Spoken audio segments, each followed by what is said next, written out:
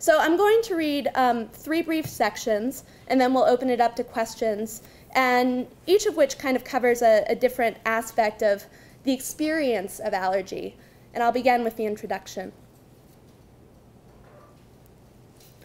There are only two birthdays that stand out in my memory as distinct, chronologically certain events. One, my 16th birthday, when we watched Ferris Bueller's Day Off. That was the year my friend Elizabeth, while using the swing anchored to the underside of our second story deck, pushed off so hard that the whole shebang, girl, swing, unhooked chains, went sailing 20 feet out into the woods behind our house. Two, the year I got diagnosed with mononucleosis. Too late to cancel an Italian themed dinner party. So I stood in front of a stove for two hours, achy, gland swollen, stone cold sober, cooking pasta for two dozen while my friends went through six bottles of wine. That was undoubtedly my 21st birthday. Beyond that, it blends into a murky er party. Which years did we go to Chuck E. Cheese's? When did I get my Rainbow Brite doll? Which years were my father home, and which years had the army sent him off to the war college, Saudi Arabia, Bosnia. There is one constant in my birthday memories. When it came time for a cake, my mother would bring out whatever Sandra friendly sweet she'd imagined. Some years it was sunflower margarine Rice Krispies treats, and some years it was an applesauce and cinnamon raisin Bundt cake. I'd get my serving. Then we'd dish out the real dessert, of cake or brownies or pie a la mode for everyone else. After singing, after blowing out candles, after the presents had been opened, after everyone had eaten, someone would say it. Now, don't kill the birthday girl. Which meant no kisses, no hugs, no touch of a hand or a mouth. From that point onward, anyone who touched me ran the risk of giving me hives or worse. Even today, it's a phrase I repeat as part joke and part prayer. Don't kill the birthday girl. It's the same at every holiday. My Uncle Jim is notorious for forgetting about my allergies, holding out a dish of ice cream and asking, Want a bite? He's the fun bachelor uncle, the one who rides a motorcycle and would give a little girl a wind up sewer rat complete with blinking red eyes as a Christmas gift. Once upon a time, it would fall on my mother to protect me at the end of the night when the aunts and uncles and cousins were making the rounds for goodbyes. Now I step to the side on my own. Everyone understands why I avoid contact, yet I can't help but wish it wasn't their last impression of me before the long drive home. I am allergic to dairy, including goat's milk, egg, soy, beef, shrimp, pine nuts, cucumbers, cantaloupe, honeydew, mango, macadamias, pistachios, cashews, swordfish, and mustard. I'm also allergic to mold, dust, grass and tree pollen, cigarette smoke, dogs, rabbits, horses, and wool. But in particular, I am one of the more than 12 million Americans who has been diagnosed with food allergies, a figure that includes almost 4%, and in the most recent study, almost 8% of all children.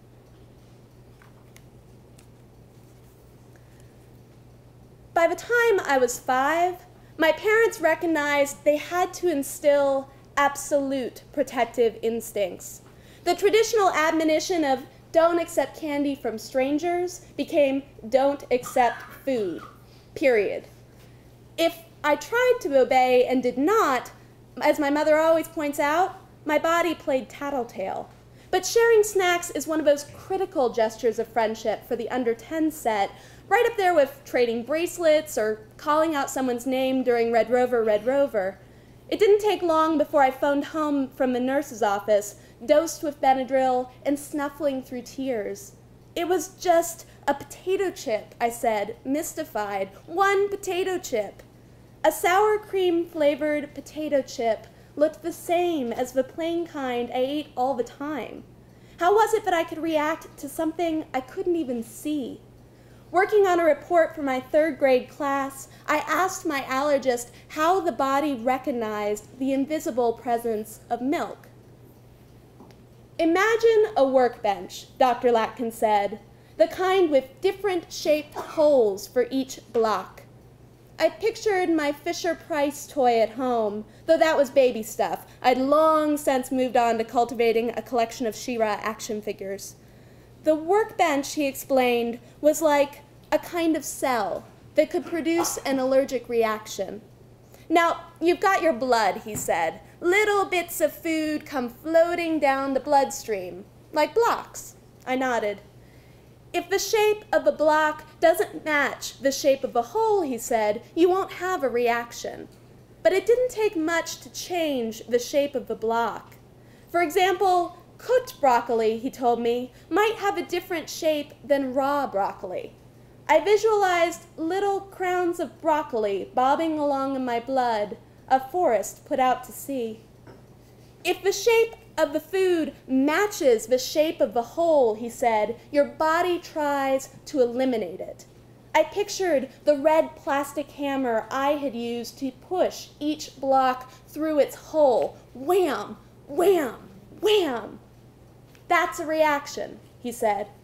I stared at him wide eyed. No wonder I got all hivey. Somewhere inside me, I was being hit with a hammer.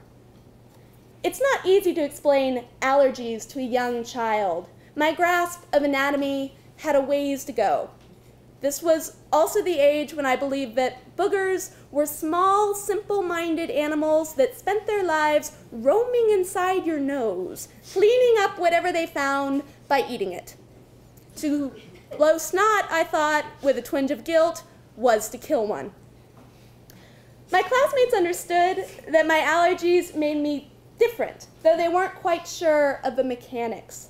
They saw that I got out of sponge duty in the cafeteria because the slop water they used to wash down the tables was perpe perpetually contaminated with milk. On the rare days I could buy tater tots, I was allowed to cut in the hot line rather than parade past all the stations I couldn't touch. Knowing I couldn't buy candy out of the on site vending machines, my mother every day packed four or five strawberry candies, little hard lozenges filled with jam, in my lunchbox, sugar capital that made me the kingpin of lunch group B. In some ways, it seemed like Allergy Girl had a pretty sweet deal. Thanks to my asthma, a frequent companion disease for allergies, when the other kids had to run the mile, I got to work the stopwatch and record times instead. One day, my friend Karen crossed the finish line and let her forward momentum carry her into me, knocking us both down. The stopwatch and clipboard went flying. As we lay in a sprawled heap, she proceeded to rub her cheek against my forearms over and over. What are you doing? I asked, panting for breath. Whatever you are, she said, I hope you're catching. I had to have medications within quick reach. Since we were instructed to leave backpacks behind when traveling around school, I became the only kid at Haycock Elementary to carry a purse, the first of many hauled around over the years. There was the pink one with blue trim, an all time favorite, ruined on a hot day at the fun fair by a melted Jolly Rancher. There was the Sports Sac, which I smugly informed my friends was a French label. There was the black leather hand me down from my mother, still packed with musty, folded squares of Kleenex that bore lipstick blots.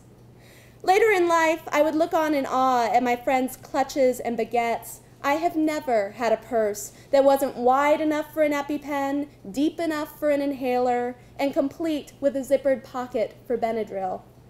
The plastic orange chairs used in our classrooms are not designed for purses. Their backrests have rounded down corners that offer no resistance to gravity. So whenever I twitched or stretched in my seat, the purse would fall to the linoleum, necessitating a backward reach that made it look like I was passing a note. Grab, hang, thunk. Grab, hang, thunk. Picture a kid in thick lensed glasses, indigo dark jeans. My mother refused to buy that worn out, stonewashed look. A beglittered t shirt threaded through a plastic buckle loop that gave it an asymmetrical hem, and a slap bracelet. Now add the purse of a 32 year old mother, complete with pills, tissues, safety pins, and too many pennies.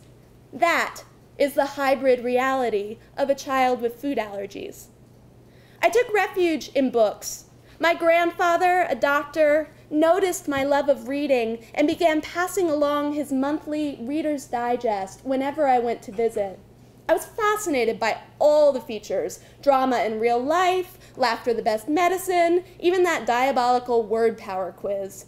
But my runaway favorite was I Am Joe's, I Am Jane's, a series written from the point of view of various body parts as they experienced critical injury or illness. The author, J.D. Ratcliff, assuming the voice of Joe's back, had my full attention as he explained what it felt like to herniate, undergo a CT scan, and slip those little discs back into their proper lumbar positions. I adored these columns partially because they satisfied my flair for the dramatic. Who didn't want Jane's thyroid or Joe's lungs?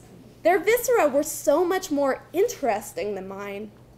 I was sure between the ages of 8 and 12, I had experienced doubts with kidney stones, obsessive compulsive disorder, mammary cysts, which turned out to be breasts, anorexia, lockjaw, retinitis pigmentosa, and though I was fuzzy on the details, prostate cancer. there must have been days when my family regretted ever introducing me to Joe and Jane. Perhaps they realized that in the long run, after my initial hypochondria passed, these articles would teach me the elements of diagnosis, developing internal measures of what was normal and what was aberrant, understanding how individual symptoms related to a whole, and knowing when to ask for help. In other words, these articles taught me how to manage allergic reactions. Preteens aren't known for their self awareness. But I had no choice. No adult could do the job for me. Reactions that started out indiscernible to the outside world could rapidly turn quite serious. I am Jane's funny feeling throat could transform in a matter of minutes to I am Jane's anaphylactic shock.